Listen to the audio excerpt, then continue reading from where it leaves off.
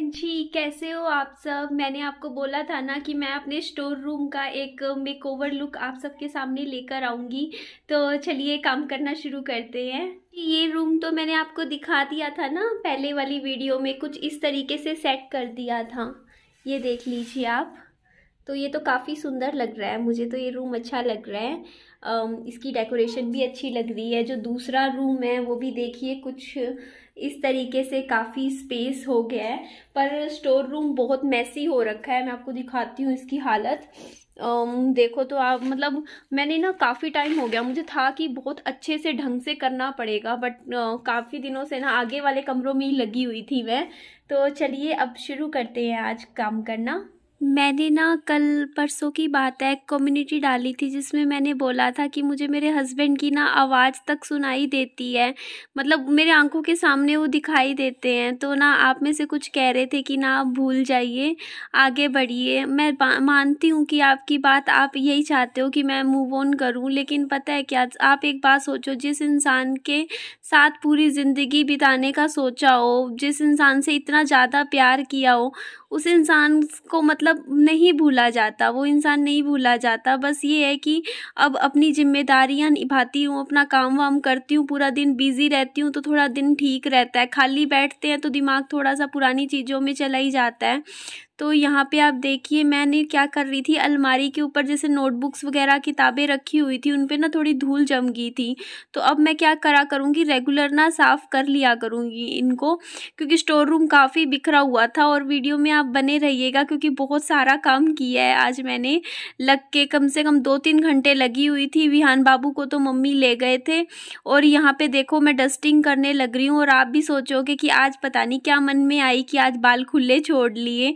Actually मेरे को जहाँ तक मुझे याद है ना, आप भी देखते हो मैं, करीबन करीबन दस महीने से तो मैं यूट्यूब पे होने वाले हैं मुझे दस महीने। और दस महीने में शायद ही कभी ऐसा आपने मुझे देखा हो कि मैंने बाल खुले छोड़े हो। बहुत कम मैं हेयर ओपन रखती हूँ वैसे, वरना मैं ना बालों की पोनी टेल बना के रखती हूँ ऊँचे मतलब बाल बाँध के। तो अभी थोड़ा ठंडा मौसम है हल्की हल्की सी सर्दियाँ आ रही हैं तो इतना ज़्यादा गर्मी नहीं लगती। तो मैंने वैसे ही बस शौक में ऐसे ही बाल खुले छोड़ लिए। मैंने कहा, चलो देखते सकते हैं। बाल कभी कभी तो खुले ओपन भी छोड़ लेने चाहिए। तो यहाँ पे देखिए, ये सारी बुक्स हैं, इनमें से कुछ पढ़ी हुई हैं, मैंने कुछ नहीं पढ़ी हुई हैं और मैंने वैसे आज बाल खुले छोड़े थे तो ये सूट पहन लिया था। और पता है, ये वाला सूट ना सनी को बिल्कुल भी नहीं पसंद था। जब भी मैं ये वाला सूट पहनती थी ना तो सनी मुझे बोल देते थे कि, निधि, ये वाला सूट मत पहन, बड़ा ही अजीब सा लगता है। एक्चुअली सनी कहते थे कि ना, जो कपड़े होते हैं ना, उनका एक मटीरियल होता है। ज़रूरी नहीं होता कि महँगा ही कपड़ा पहनो, पर कुछ कपड़े ऐसे होते हैं, जो दिखने में ना बहुत ही ज़्यादा चीप से लगते हैं, सस्ते से लगते हैं, और कई होते हैं जो अच्छे लगते हैं। तो सनी कहते थे, मुझे कि ये वाला जो सूट है ना, बड़ा ही चीप सा लगता है। निधि, तू मत पहना कर। तो मैं ये सूट ना बहुत ही पहनती नहीं थी। मैंने आज भी बस वैसे ही सामने दिखा और थोड़ा सा ना पहले मेरे आता नहीं था। अब ये थोड़ा लूज सा हो रखा है, ढीला हो रखा है मेरे। आप देखोगे ना साइड से देखो फिटिंग भी सूट की मेरी ढंग से नहीं आ रही है। तो मैंने वैसे ही पहन लिया क्योंकि पूरी बाजू का था। हल्की हल्की ठंड भी रहती है तो वैसे ही पहन लिया। और ये देखिए, मैं अलमारी के ऊपर ये जो लेकर आई थी ये छोटे छोटे से बास्केट से तो इसमें सारा सामान अपना ढंग से जचा के लगा रही हूँ ताकि टाइम से ना जब भी मेरे को मिलना हो तो मिल जाया करे। घरों में ना एक बच्चा रो रहा है मेरे को ऐसे लग रहा है जैसे मेरा विहान रो रहा है। तो ये देखो आप यहाँ पे ना मैंने ऐसे ऐसे मेरे पास तीन रखे हुए हैं परफ्यूम मैंने एक बाहर निकाल लिया बाकी दो अंदर रख दिए। जब ये खत्म हो जाएगा फिर दूसरा निकाल लूँगी। ये वाले इयरिंग्स आपको पता है मैं पहनती हूँ। और यहाँ मैंने अपनी किताबें, देखो कितने अच्छे से सेट कर दी। यहाँ पे मैंने थोड़ी सी अपनी आर्टिफिशियल ज्वेलरी मेरे पास है देखिए आपने देख ही रखी है। तो वो सारी अच्छे से सजा दी है। और यहाँ अलमारी का जो ये कॉर्नर है, मैं आपको दिखाती हूँ। यहाँ पे भी मैंने एक लोशन निकाल के रख दिया है। इसके अंदर मेरे थोड़े से इयरिंग्स वगैरह हैं इयरिंग्स हैं। इसमें मेरा थोड़ा सा मेकअप का सामान है, आपको पता ही है, थोड़ा छुटपुट सामान लिपस्टिक वगैरह। इसमें भी मैंने कुछ शैम्पू के पाउच वगैरह, डिब्बी में बंद करके रख दिए हैं। ये भी हेयर ऑयल है। इसके अलावा ये देखो, इसमें मैंने सारे के सारे जैसे ब्रश व्रश थे पेन वेन सारे इकट्ठे करके रख दिए हैं। और इसमें मैंने कुछ नेल पॉलिश है मेरी, पर मैंने ना इनको ऐसे ही रख दिया। अभी मैंने खोली नहीं। इसी में ऐसे ऐसे ही ठीक है सही है संभाल हो रही है। तो जैसे यहाँ पे मैंने साबुन रख दिया इसमें, जैसे कभी निकालना हो, ख़त्म हो, इसी में से निकाल लिया। तो इस तरीके से अभी ये मैंने पोर्शन जचाया है, बाकी सारा अभी पेंडिंग है काम। आपके ना कमेंट्स आ रहे थे, कह रहे थे कि ये जो ट्रंक रखा हुआ है ना, ज़मीन पे अच्छा नहीं लग रहा, इसको ना उठा के आप मेज के ऊपर रख दो तो मैं यही काम करने वाली हूँ अब। तो ये ब्लैंकेट वगैरह मैं बाद में देखूँगी, पहले ना, लेकिन ये थोड़ा सा भारी लग रहा था मुझे तो पहले मैं यहाँ से जगह बना लेती हूँ। ये मेज़ थोड़ी मुझे खाली करनी पड़ेगी, फिर यहाँ पर ये ट्रंक अच्छे से आ जाएगा तो एक बार के लिए तो मैं सारा सामान बस नीचे रख रही हूँ, उसके बाद बाद में जचाऊँगी। तो ये मेरे पापा जी की रजाई है, मेरे पापा जी ने अभी अभी बनवाई थी। इसमें थोड़े से विहान के टॉयज़ रखे हुए हैं। ये सामने आपको ग्रीन ग्रीन दिख रहे होंगे। ये मेरे डम्बल्स हैं, जो कि मैं बहुत यूज़ करती थी। पिछली सर्दियों में ना मैं बहुत एक्सरसाइज करती थी, पर पता नहीं जब से मैं यूट्यूब पर आई हूँ ना, तब से ना मतलब मैं एक्सरसाइज वगैरह कम कर रही हूँ। लेकिन पहले मैं रेगुलर करती थी। तो ये देखिए, ये सारा सामान मैं यहाँ से हटाने लग रही हूँ और इसके बाद मैं यहाँ पे काम करूँगी। ये ट्रंक ना उठा के इसको ना यहाँ मेज पे लगा देती हूँ और ये काफ़ी मुझे भारी लग रहा था, क्योंकि इसमें कपड़े रखे हुए थे। पहले से तो मैं कुछ ना कपड़े इसके निकाल के ये इसके ऊपर अब ये थोड़ा हल्का हो गया है ना ट्रंक अभी आ जाएगा। अब इसको मैं उठा के यहाँ मेज़ पे रख देती हूँ तो इससे पहले ना मैं मेज़ को थोड़ा सा डस्टिंग कर रही हूँ, क्योंकि मेज़ पे धूल मिट्टी ज़्यादा हो रखी थी तो मेरे को लगा चलो आज ढंग से अच्छे वाला, मैं आपको बहुत सुंदर बना के दिखाने वाली हूँ आज स्टोर रूम। बहुत अच्छा लगे, लग रहा था, क्योंकि आज मेरे, एक्चुअली मैं ये काम इसलिए भी निपटा रही थी, क्योंकि ना कल मुझे शादी में जाना है मेरी फ्रेंड है, उनकी सिस्टर है ना, सबसे छोटी सिस्टर उनकी शादी है तो मेरे को इनवाइट किया हुआ है तो मैं ना, फिर मेरे को एक बार काम हो जाए स्टोर रूम का प्रॉपर उसके बाद मैं ना एक सूट निकाल लूँगी सूट ही पहन कर जाऊँगी। मेरे को ना इतना ज़्यादा ना मन नहीं करता, और सर्दियों में तो वैसे ही मन नहीं करता मेरा लहंगे वहंगे पहनने का। सिंपल सा सूट होगा, बस वही पहन लूँगी मैं। तो यहाँ पर मैं अभी ये ट्रंक पूरा खाली करने लग रही हूँ, क्योंकि मैं फिर नए सिरे से अच्छे से जचाऊँगी। और देखो, आज बाल खुले छोड़ लिए मैंने बार बार ना मेरे बाल ऐसे मेरे को ना वो, हो रहा था। सुहा नहीं रहे थे आदत नहीं है ना खुले बाल छोड़ने की बिल्कुल छूट सी गई है।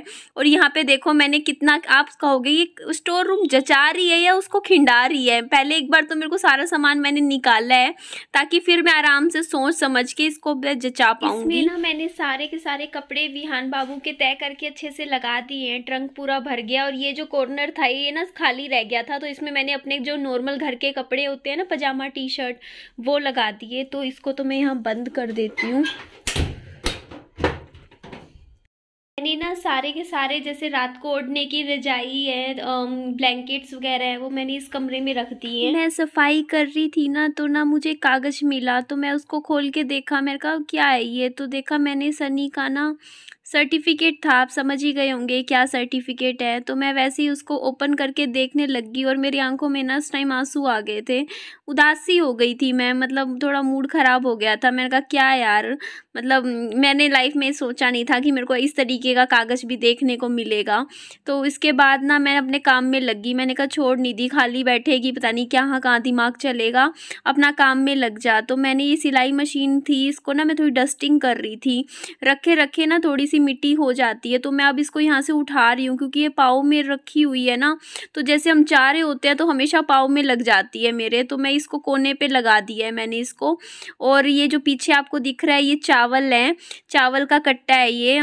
तो ये अभी तो रखे हुए हैं चावल, जैसे ख़त्म हो जाएँगे तो ना इसमें से खोल के डब्बे में भर लेंगे।